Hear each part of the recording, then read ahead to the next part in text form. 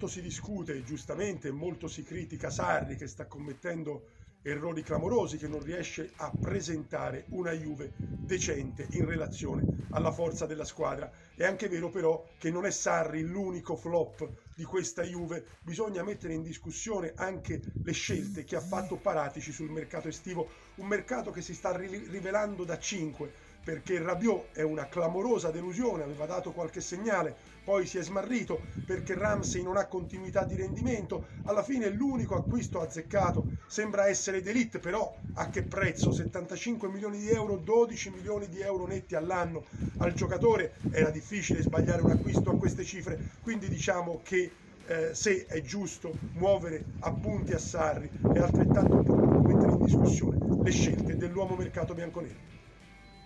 Thank you.